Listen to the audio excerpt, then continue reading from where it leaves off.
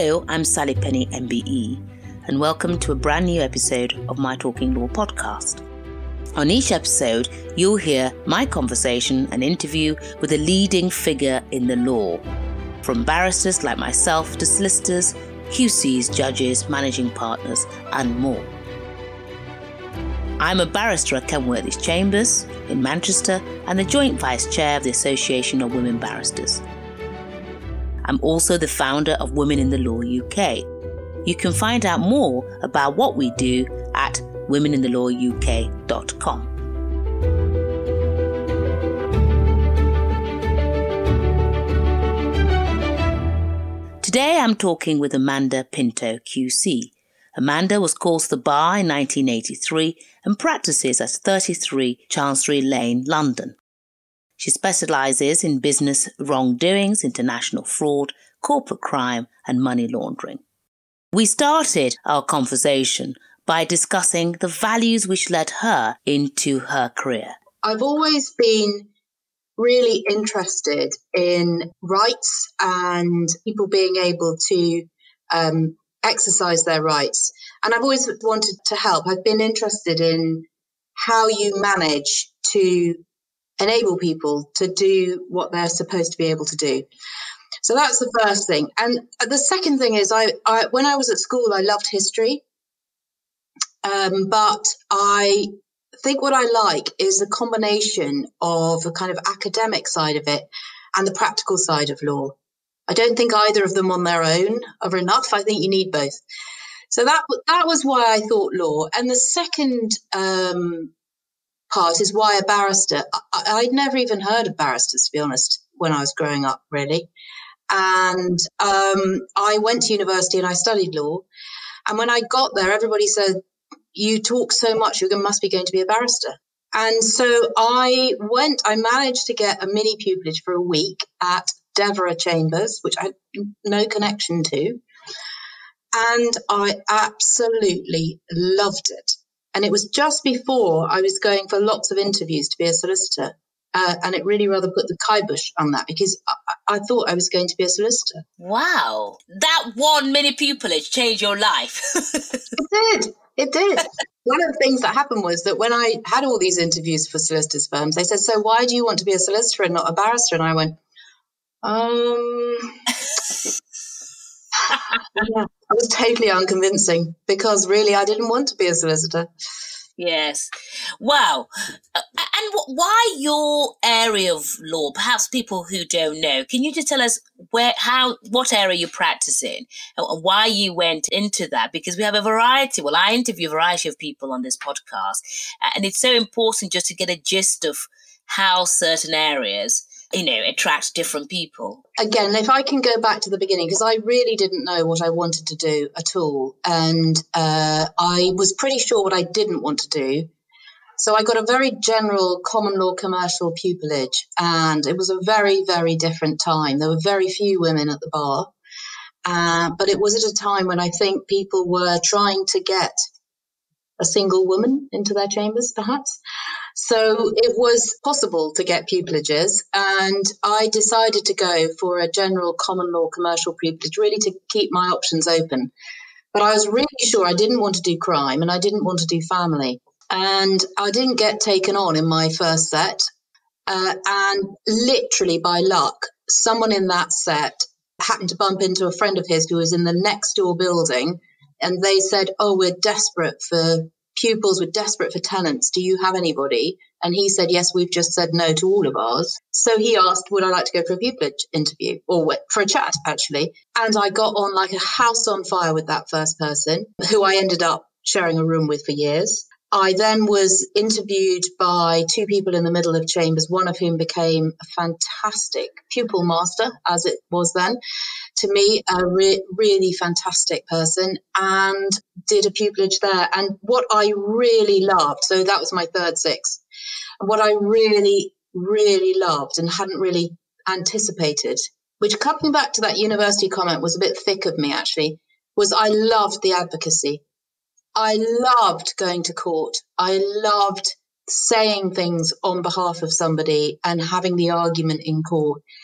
And I went all over the place doing exactly that. And just the whole atmosphere in chambers was just such fun and so vibrant from everybody's experiences. And, and that was a criminal pupillage. Years went by, general crime. And then there came a point when I was doing a lot of sex cases, which I hated.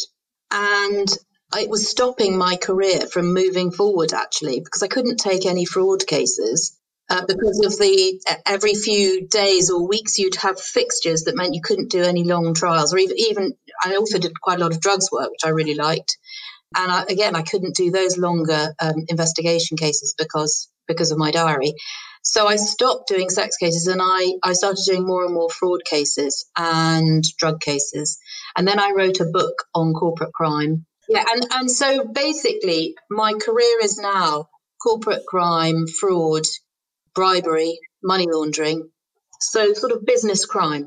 Yes, yes. I mean, it's it's. Oh gosh, I, we're going to run out of time, aren't we? It's so interesting making that decision because, of course, so many women at the criminal bar get stuck in, I don't want to say a rut because it's important and valued work, which I myself do. But it, it is the same old type of work um, and the assumption. So to be able to make that decision, I just wondered where that confidence came from to just kind of just stop. So, Sally, in, in my professional life, I've made a number of decisions which actually were probably started off as a feeling and accumulated to a point where I felt I really didn't have a choice. I was really quite unhappy with the way things were. One of those was um, actually not prosecuting uh, in East Anglia. And that was to do with career development as well. It was that I was spending my life going backwards and forwards on trains, to East Anglia to do work that I could be doing in London for the same money without the train fares and all the rest of it, making it less productive. Um, the second one was in relation to sex cases. And actually, as I said, I hated them. So it wasn't just, it was, they're forensically, they're very difficult. They're very important cases. I had, well, I had three young children. It was when my youngest was four I just thought enough is enough. I, I, I was finding it very, very hard to do lots of cases of sexual abuse on children with my own children there. And I just was very, very bad at leaving them at the office, if you know what I mean.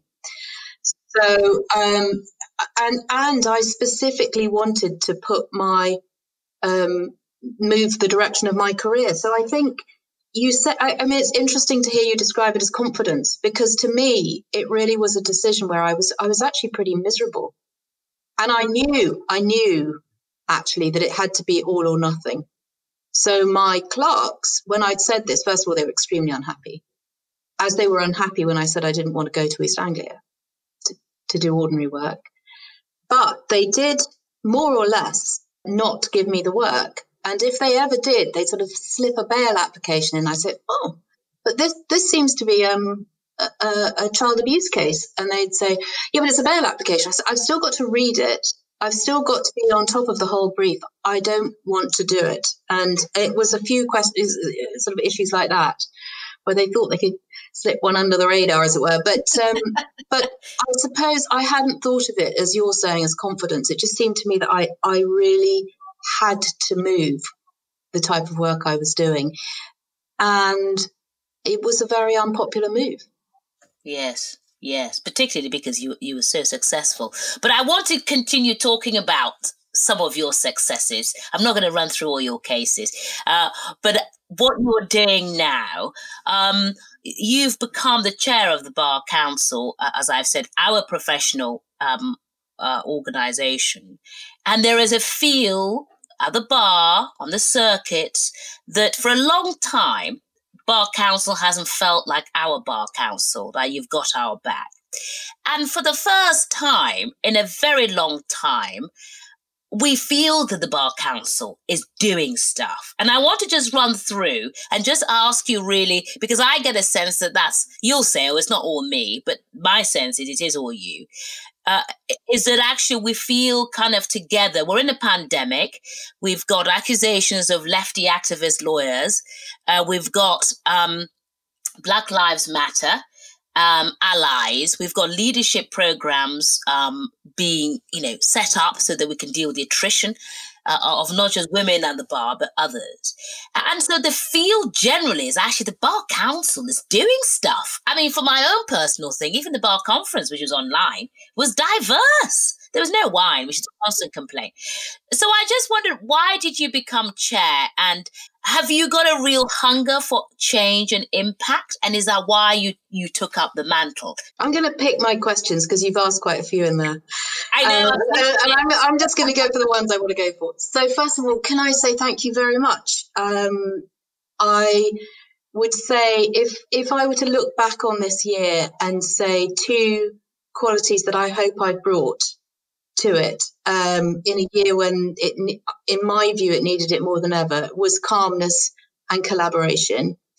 And the third thing was uh, keeping the the three things that I wanted to achieve in an ordinary year or set out set out to try and achieve in an ordinary year to keep them on the agenda and that was not necessarily always easy and basically, they all centered around access to justice, access to justice for ordinary people, which at that point, funnily enough, when you think about the end of 2019, was keeping courts open, keeping legal aid uh, at reasonable rates, and um, improving legal aid um, and access to justice. Secondly, access to the profession, so diversifying and modernizing the profession. And thirdly, um, keeping us open for um, business as a as a legal system and um, a place for dispute resolution in light of Brexit.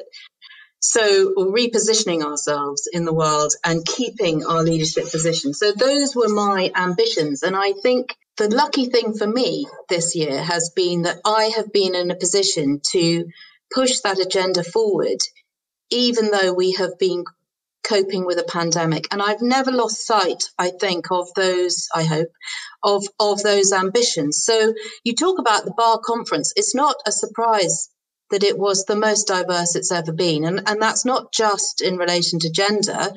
It's employed barristers on panels with self employed. It's um, people from different backgrounds of all sorts. Um, and that was deliberate. And I was very, very closely involved in organizing that because it really matters to me. Um, I, I think we are a better bar if we are more diverse. I think we're better for those who need us. And, and that's what we always have to remember is it's not really, it isn't about us. It's about who we are representing. And so, I mean, to me, this is all pretty obvious stuff. And I suppose that's been a, a, a positive in that it, none of it's felt forced or unnatural to me. It's all felt obvious. Uh, so I've never had to worry about how it might come across. In fact, I would say about myself that um, I'm not really, in one sense, a, a great ambassador for equality and diversity because it, it's just to me, I just feel like why wouldn't you? How could you not? And I think that has been really, really great that somebody who just feels like that has been there in those discussions about COVID operating hours and how to get the courts back open safely and those pandemic specific issues. And I, I'm pleased that I was there to keep going on about the impact on diversity if we're not careful. Yes, well, I was going to come to that. When I interviewed Joanna Hardy, who's a friend of mine, that's one of the things, and we sit on the Criminal Bar Association Social Mobility Committee, that is of grave concern that actually one of the consequences is quite simply going to be that diversity will be affected. People won't be able to afford to come to the bar. The incomes aren't there. The working hours for women. We were already in the operating hours consultation, which closes the day of recording. And so that is something that I'm concerned about, you're concerned about. But I just wonder when people are like Alexandra Wilson, as I have, are mistaken in court for defendants. Do you think we're really making progress? What else can we do on diversity?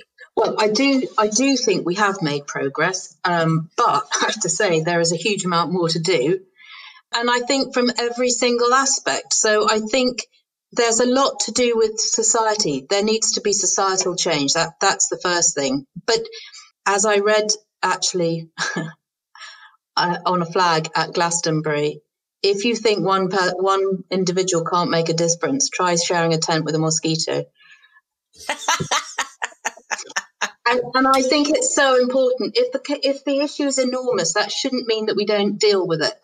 Um, so I think first of all, we need to address what's wrong in the profession. We need to make deliberate, focused changes, and that's why the Bar Council has this accelerator project, um, which originally came from an issue over different successes of men and women at the bar, but is obviously is is going to be rolled out far more widely in terms of race, etc. But but what it's dealing with is the barriers to entry, the barriers to progression, the fair allocation of work, the fair distribution of work, and everybody has a part to play in that. That's our lay client, our uh, professional clients, so solicitors working with the Law Society on this, um, clerks and practice managers. So we're working with the IBC and the LPMA, as well as barristers themselves. Because as you know, if you are representing somebody, say in a criminal case, and you've got a brief that suddenly becomes available for a co-defendant, and you are asked who should go, who should that go to? There's got to be a way of doing this so that everybody gets a fair chance. And it's not just, oh, well, we had Sally last time. She was great. Let's have Sally again. We've got to think about every time we are redistributing work. Uh, so that's internally. But I think also we've got to recognize that, as you alluded to, where there are pressures on the system, and there are enormous pressures this year on the system in particular, you have got to make sure that the response to those pressures does not discriminate. So I think coming back to your earlier question, that's one of the things that I've been very careful to try to succeed in doing. That that aspect should not be lost in an immediate knee-jerk reaction to the pandemic. Absolutely.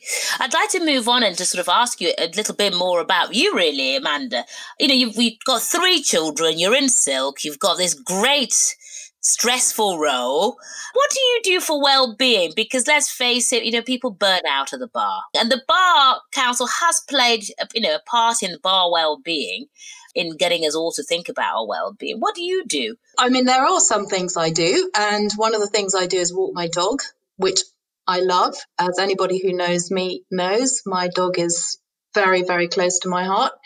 Um, and I was before this year. Um, I, am quite I'm quite a greedy person, and I really love cooking and eating. Um, so I, I mean, it, it really hasn't happened this year for obvious reasons. But I I like and having people over to supper, and I really like cooking. And luckily, my husband's very good at providing delicious wine, so that's excellent news. Um, but yeah, I think those are two of the things that I I like doing. Um, but one of the things that has been very difficult this year is because social life has just so changed um, and in some ways disappeared. I think that's added to the stress enormously. I mean, the the type of crisis that we're in obviously every crisis has its own difficulties. If we were in a war, it would have different difficulties. But this has been, to state the obvious, a very isolating year. It's not the same being on Zoom. And I think that's been very difficult. And it, it, it manifested itself actually because when we moved out of the bar council because effectively we could work from home and there you know the lockdown happened. It wasn't that we can't do our job from my daughter's bedroom but it it does mean that it's just not as good. It's not as good for well-being. And i think you don't just you just don't get things agreed as easily actually. So that, that's been a big a big impact i think this year. And and i must say i i have missed court I've been yes. a couple of times, but I've missed court. Yes. Well, interesting that, isn't it? Because judges started off very um, uncomfortable with the whole process, and some still are. And actually, the process of going to court, I think they're just pleased to see us. I, I find them much nicer. Um, when, when... Oh, I look forward to that. Um, yeah. I, I, mean, it is a very interesting thing as well, though, because it is very, very different for the judiciary and it's different for many court staff. Typically, they go in a different entrance, their environment is very contained, they're not bumping into people that they don't know, and they don't have that fluid uh, group of the public coming and going that we do on our side, if you like, on land side of the airport that is the court they're on air side, and it's all a bit more um, managed. And I and I think that's a really important thing that I hope people appreciate when they're talking about listing something or um, whether it should be in person or or remotely is actually it's not the same for those who are coming to the same environment day in day out and then practitioners for example who are going to one court center one day and one court center another and having to get familiar with how things are working there and what is and isn't safe distancing in that particular court. But there is an argument, isn't there, though, about using the digital system for trials. Do you think it's time, as I've been considering, for us to look at a realistic position with using the online system to deal with some of the backlog? So I am a very big proponent of the jury trial system. Uh, I think David Lammy's report, in effect, says it all. Uh, and I worry very significantly about that being un- encroached on. That aside, um, I know from listening to people who sit as magistrates that they've found it more difficult to hear trials, which was happening at the very beginning, yes. Um, remotely. And I do wonder a bit about, um, just from my own experience of having had witnesses give evidence remotely in trials that I've done. Obviously, they've been occasional witnesses. Um, just what quite what the impact is. But I think there is a disconnect in the same way that I was saying earlier, Sally, that if you and I are in the same room, it, it would just be different. And I, and I think there's something really positive about that. And I suppose the question is is it better to have what is, to my mind, uh, and I may be wrong about this, a second best trial or no trial at all, or to get more trials moving by getting more courtrooms um, open and all sorts of other individual bits yes. of the system working better and and have it in person, but perhaps with a bit of a delay. And I suppose the real question is how long is the delay? Because if the delay is within a time frame that people think of as reasonable, then even if it's longer than they would like, I would probably prefer that it was in person. But coming back to the issue that you put forward, which is to do with legal representatives being able to attend court, that that's a in one sense, a different issue um, because I'm talking about access to justice for the public. With this, I am sure that we should be trying our best as a system to ensure that the greatest diversity that we have already accomplished and want to continue to attract should not reverse. And so when we talk about the ways of reducing or dealing with a backlog, which, as you say, was there very significantly and deliberately put there and maintained, we need to be very, very careful that we don't reverse a position which has as you've said has made incremental progress but it takes nothing to put that into reverse it takes very very little and it will be an enormous task to turn it back round and, and, and I've seen it. I, I do remember actually with with sort of naivety thinking when I came into the role, oh, you know, I'd like to do this, that, and the other, and and I realised, uh, even before the pandemic, I realised that actually all I could do was slightly move the direction of the tanker in the English yes. Channel. I, I wasn't going to be able to do a 360 uh, or a 180. Obviously, that was a bit of a depressing moment, but um, sure you've done, will carry it on. Absolutely, absolutely. Well, you, you've well, you've done you've done a lot more, as I as I say. Um, Amanda, I want to ask you about books. I always ask this also about fi- favorite fictional lawyer. I don't know why, because most of us don't watch things with fictional lawyers in. So true. That's so true. My relatives go, What do you think of Silk? And I go, Don't know. I've never seen it. exactly. Exactly. Honestly, you know, my mother watches it. You've probably got relatives who like watching because they think it's your life. But yeah. I wondered if there's been it's a book at, at, least which has really affected your life, and if you could share it with us because we've got a book club, so it's nice to hear all the. Uh, uh, all the favorites of some of the guests on here. Do you have yes. a favorite book? My Desert Island Disc book is War and Peace. It's such a brilliant book. And I remember resisting reading it for years and years and years because it's so long and the and the names are so difficult and it's everyone said oh and it's like it's two bits of a book you know the the war bits you just got to skip over the war bits they're very boring but actually actually what they did was to put in context two things one one of course was the historical context but the second is how people in those situations, how individuals um, are affected and how they how they behave. And I loved that. I loved the combination of huge kind of external events and individuals. And the, and I think it's a very I think that it's a very easy book to read. That that was the other thing that surprised me when I read it it's it's just so beautifully written and obviously you have to get the right translation. I can't remember which yes. one it is but i will let you know. But it's, it's it's a fantastic fantastic book and i've and i remember actually having then read anna karenina afterwards thinking after about 50 or 100 pages from the end of anna karenina thinking i mustn't finish this because i'm going to be so sad when it finishes. And then i left it for so long i couldn't actually quite remember what happened. So that's not to be advised yeah, without a doubt. Yes. Um, Amanda, I, have got two quick questions for you because we're running out of time.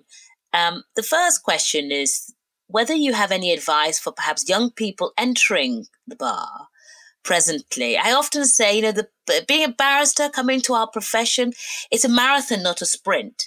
And the same for women, you know, I set up a women's organization so that we learn some skills that we didn't know. And so the question is really any advice for those entering the profession and perhaps any advice for retention? What I would first of all say is be true to what you want. Um, if you, like me, and be adaptable. So if, if like me, you thought you didn't want to do crime and family, and then there came an opportunity and it seemed to work, be open to that opportunity. I frankly couldn't have enjoyed myself more than I did doing all those different cases all over the country. And I've had some extraordinary cases that have just, you know, they're hilarious actually when you look at them from the outside um, in terms of the combination of factors. They were like, they were like television um, series or something and and also on the other side of it that you really are helping people. So i think if there is if there's something that you think you want to do do it. And if you stick at it for long enough you will get there. You might not get there in the way that you thought you'd get there. And uh, I and I most certainly didn't. I, I know people think that if you've somehow managed to get to a position where you're in a, in a leadership role, that it must have been simple for you and you must have sort of, you know, got the ski lift up the mountain. But I can tell you, I was on snowshoes and I was zigzagging and um, on, quite often falling down. Uh, so that's the first thing. And the second thing is, I think if you've got a good idea for your practice or your professional life, then listen.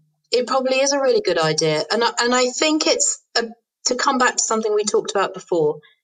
I, as I say, I made some decisions in my life, my professional life, to stop doing things and to concentrate on other things. And in the short term, I knew that they would affect me negatively, and they did. Equally, I was I became more and more convinced that there should be a book, a practical book on corporate crime, and I couldn't work out why nobody had written it. And luckily, I uh, was introduced to Sweet & Maxwell, and I sort of pitched the book, um, uh, which I've written with a colleague who's been fantastic. And um, I remember with the first book, which was incredibly difficult to write, actually, I, I thought it would be much easier than it was. But I I remember thinking if we don't hurry up, somebody will publish one before we do. And nobody did, luckily. And, and so we've now literally got in our fourth edition. Our fourth edition will be coming out next year. And um, so it just shows you that if you've got what you think is a good idea, it probably is a good idea. Yes. Yes, so, that's so so helpful. And and as far as retention is concerned, I very often, I'm afraid, had mothers at I say the school gate, but the very occasional times when I've made it to school gates and been hanging about as opposed to running in, grabbing an arm of a child, which one hopes is one of them, and running out again. But um, and they've said, "Oh, I wish I hadn't given up work. I wish I'd done what you've done." And what I think is you do give up a lot or you do have to make compromises. Um, but on the other hand, you have to do what's right for you. And if if you really want to keep at the career, which will give you so much, and I mean, I think being a barrister is a brilliant job. My children are bored rigid with me telling them all to be lawyers, and they're all well. My advocacy hasn't worked, put it that way.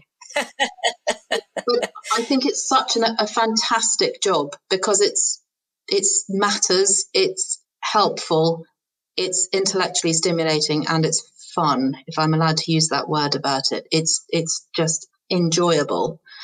Um, I mean, there aren't many other jobs that combine those those four things. Gosh, it's good to reflect on that, isn't it? Even in the depths of late hours drafting skeletons, the fun aspect. Amanda Pinto, that was amazing. Thank you for talking law with me, Sally Penni. Thank you for coming on, Amanda. I loved it. Thank you. A very big thanks to Amanda Pinto for her time today. I'd love you to get in touch and let me know what you think about the podcast. You can find me on Twitter and follow me at Sally Penni One, or just search for Sally Penni or Women in the Law UK on LinkedIn. There's a new Law and Guidance webinar series, and you can see this on YouTube, on the Women in the Law UK channel, or listen to it in podcast form. You can also search for Talking Law Book 1, 2, and Book 3, which will be available on Amazon from next month. Thanks to our production team, Sam Walker and Michael Blades at What Goes On Media. Bye for now.